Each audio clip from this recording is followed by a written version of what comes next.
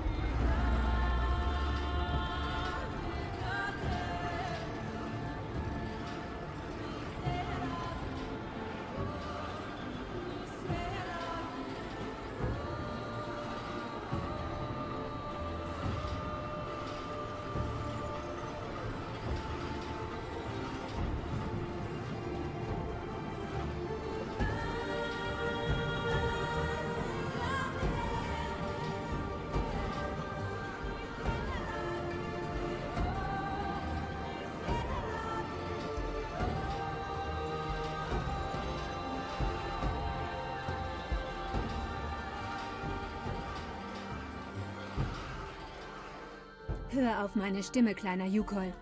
Hör auf die Stimme deiner guten Freundin. Kirk, du bist der Führer deines Volkes. Derjenige, der seinen Yukol-Brüdern auf den Weg zu Modernität und Fortschritt bringt. Diese archaischen Züge, die ihr einfach nicht aufgeben wollt, sind nur lächerliche Reflexe. Du musst dein Volk dorthin zurückbringen, wo sie herkommen. Ihr müsst sesshaft werden. Echte Häuser bauen, Schulen, Fabriken, in der Welt von morgen ist einfach kein Platz mehr für ein Nomadenleben.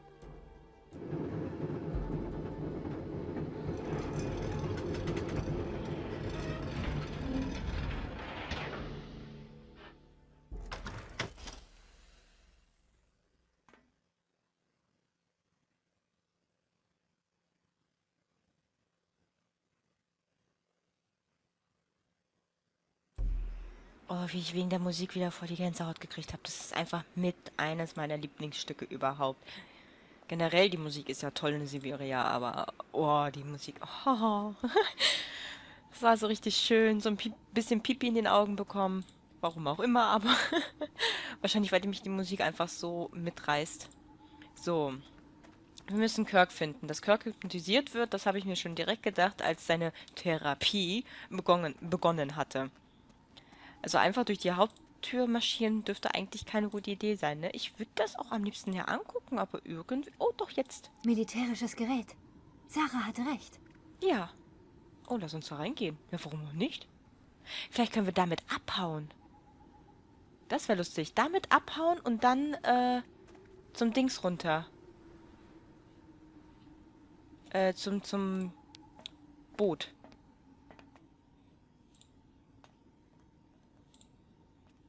Da ist auf jeden Fall... Oh, verdammt. Ich vergesse immer, dass man das ja so ein bisschen drehen muss, um sich anzugucken. Ein Walkie-Talkie.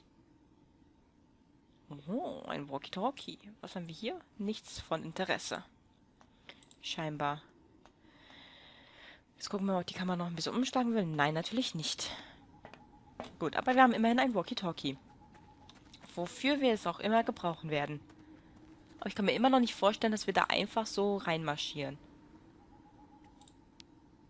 Aber irgendwie was anderes war jetzt so auf den ersten Blick nicht zu sehen. Und das scheint zu funktionieren, ne? Es hat schon irgendwo gespeichert. Können wir hier eigentlich sterben? Das habe ich schon öfters gefragt, oder?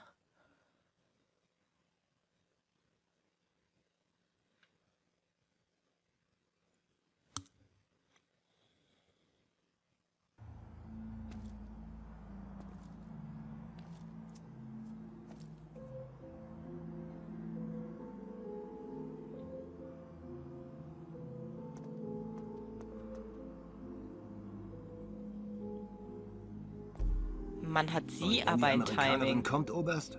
Wenn sie versuchen sollte, ihren Nomadenfreund zu retten, neutralisieren Sie sie gewaltfrei. Wir müssen sie der amerikanischen Justiz möglichst unversehrt ausliefern. Und der junge Nomade? Olga Jefimova kümmert sich um ihn. Während meiner Soldatenlaufbahn habe ich viele Menschen getroffen und Dinge gesehen. Und Feldwebel? Dr. Jefimova macht mir Gänsehaut. Mir auch, Soldat. Mir auch. Ich kann nicht weg, solange sie noch da sind. Und mit denen fertig zu werden? Aber der Typ, der rennt ja auch immer so herum, dass er mich hoffentlich nicht sieht. Oh. Oh, das ist mit zurück gemeint. Ach so. Ja, einfach rausgehen. Natürlich. Hat gar, hat, gar, hat gar keine mitbekommen. Und wieder eine Nase-Sequenz. Ah, Ah, die war kurz. Okay, gut. Aber gut zu wissen, dass wir da einfach reinmarschieren können, dass sie so ein Timing hatte, nicht gesehen zu werden. Und auch gut zu wissen, dass dem einen Soldaten diese Doktorin da Gänsehaut verursacht, beschert. Aber jetzt frage ich mich natürlich, wie sollen wir da jetzt vorbei? Vielleicht mit dem Walkie-Talkie. Aha, mit dem Walkie-Talkie können wir vielleicht was machen. Weil wir können ja hier, hier ist ja sonst nichts. Kein Punkt, der sichtbar wird oder sonstiges. Und solange die da sind, kann sie nicht durch. Und wir haben ja immerhin das Walkie-Talkie mitgenommen. Deswegen denke ich, das könnte klappen, oder? Hier spricht Dr. Olga Jefimova.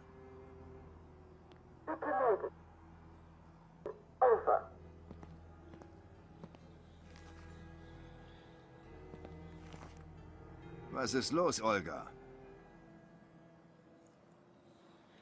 Ähm, oben gibt es einen Aufstand oder kommen sie her? Machen wir oben ist. Ich gibt es höre einen Eu- Aufstand. Oberst, das Personal ist oben mit einem Patientenaufstand konfrontiert. Ihre Pfleger können sich nicht darum kümmern?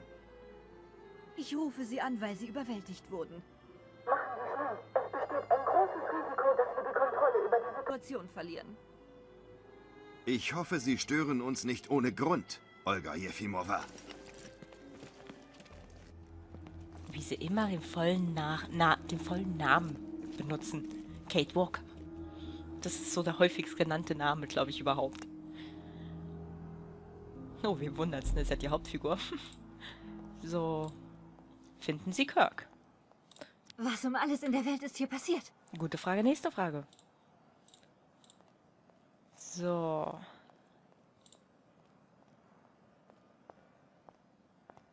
Frau Walker, kommen Sie schnell.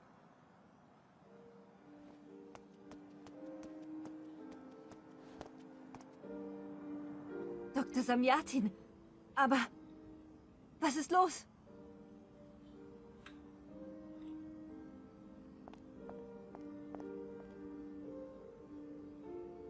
Es ist Olga. Sie hat ihre Soldatenfreunde in meine Klinik geholt. Direkt nachdem Steiner Kirk seine Prothese angepasst hat. Die Soldaten wollten sie am Verlassen der Klinik hindern. Steiner wollte nicht auf sie hören. Er hat wirklich stunk gemacht. Also haben sie ihn in die Mangel genommen. Mein Freund hatte einen Anfall. Frau Walker, Ich bin hier, Herr Steiner. Sie müssen den jungen Kirk retten. Diese Frau, Olga, sie ist ein Ungeheuer. Ihre Feindin und dieser o Oberst.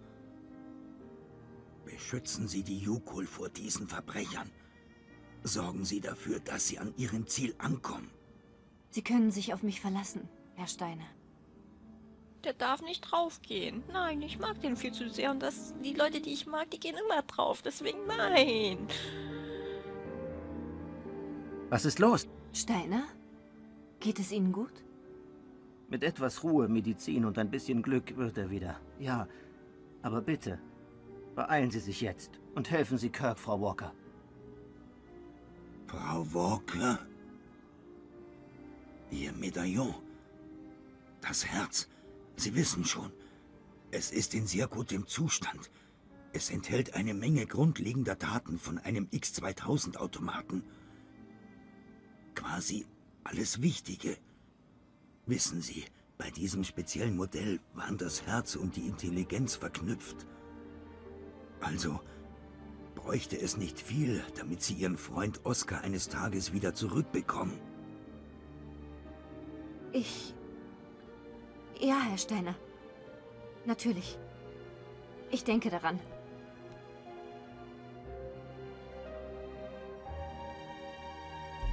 Das wäre so schön, wenn wir den wieder bekommen würden. Bloß nicht weinen. Ich habe schon Pipi in den Augen. Bloß nicht weinen. Also ich glaube, die beste Anlaufstelle zum Suchen wäre hier. Oh, ich muss mich immer noch zusammenreißen. Oh, hier ist ja schon Kirk. Oh, das ging jetzt schnell. Damit habe ich jetzt gar nicht gerechnet. Kirk! Aber wo ist denn die Jefimova-Tussi hin? Die lässt doch nicht... Warum lässt die einfach so... Da war eben was. Warte. Warte. Wecken Sie Kirk und befreien Sie ihn. Ja, ja, ja. Ja, ja. Aber da war irgendwas auf dem Tisch gerade. Was ist das denn? Da klemmt eine Notiz darunter. Oh, einfach nehmen. Olga Statuette. Und die Notiz.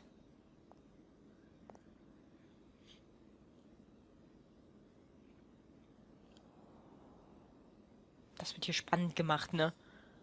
Aber das ist auch nur ein Teil von einer Notiz. So sieht es jedenfalls aus. Dürfte ja eigentlich dann hier drin sein, ne? Wo ist er denn da? Diese Furie Olga hat sich natürlich die Zeit genommen, den Code zu zerreißen. Was steht denn da? Dr. Hameln, blablabla, blablabla. Madame Olga, gemäß Ihren neuen Anweisungen habe ich Ihnen unseren jungen Nomadenpatienten geschickt. Falls Sie ihn aus dem mechanischen Therapieapparat herausholen möchten, der Code lautet ja. Natürlich hat sie den zerfetzt, abgerissen.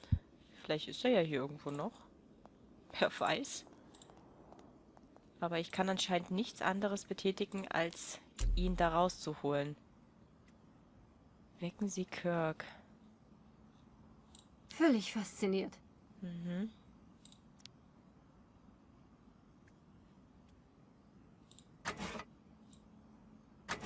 So. Ah. Ach, warte mal. Kann ich das nicht einfach durchschneiden oder so? Keine Chance. Mano. Kann ich die Statuette vielleicht Auf dazwischen keinen kle- Fall. klemmen? Das ist nicht richtig. Okay.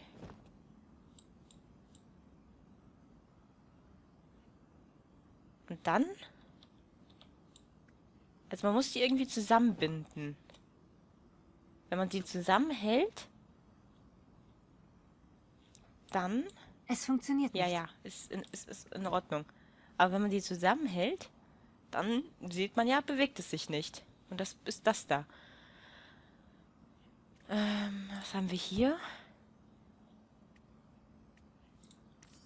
Da haben wir schon mal eine Büro... Ah, mit der Büroklammer könnten wir das natürlich machen, ne? Das wäre natürlich eine Idee.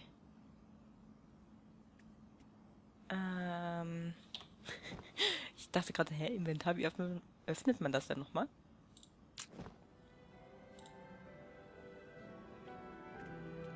Er ist bewusstlos.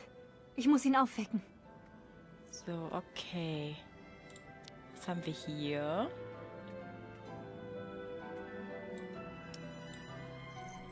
Das nehmen wir mal direkt raus. Auch wenn es auf seinen Arm getropft ist. Nein. Eine Injektion mit einer leeren Spritze könnte ihn umbringen. Ach so. Ach, das Schamanengetränk. Das Schamanengetränk. Das kann doch... Warum hilft das denn nicht? Was soll ich denn damit? Ja, ich hätte gedacht, das Schamanengetränk wäre super. Ach so, und jetzt kann ich das da oben... Ah, ah. Ach so. Hör auf. Da, so. Ich denke immer, es ist schon zu weit. Anscheinend. Ach, Ich werde noch so heulen. Das weiß ich jetzt schon. Vor allem, wenn wir wirklich Oscar wieder bekommen Kate sollten. Walker? Was tust du hier? Das erkläre ich dir später, Kirk. Wir müssen sofort zurück zu deinem Stamm. Sie warten nur auf uns, dann überqueren sie den See. Ähm, Ich kann diese Gurte nicht mit bloßen Händen lösen. dann mit einem Messer? Ja, warum geht der Text Da ja nicht ist weg? ein Fach neben dem Bett. Das Personal hat es jedes Mal bedient, wenn sie mich losgemacht haben. Ein Fach neben dem Bett. War super und ich kenne den Code doch gar nicht. Ähm, da ich ja das noch angucken kann, ist da irgendwas drauf.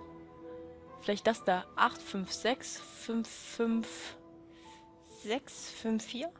Warte mal, ich schreibe mir das gerade mal auf. Ich hoffe, das sehe ich richtig. 56 55654. Einfach mal testen.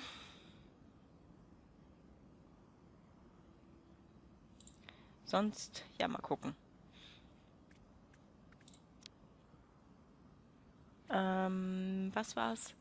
8, 5, 6, 5. Ah, nee, ist ein vierstelliger Code. Du hast nicht zufällig gesehen, welchen Code sie da eingegeben haben, oder? Das wäre von meiner Position aus schwer gewesen, Kate Walker.